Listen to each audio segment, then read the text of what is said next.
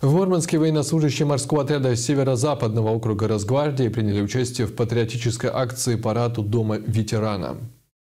Праздничное настроение ветеранам и собравшимся в клубе отряда росгвардейцам создавали творческие коллективы, лауреаты региональных и всероссийских конкурсов, исполнители песни военных лет.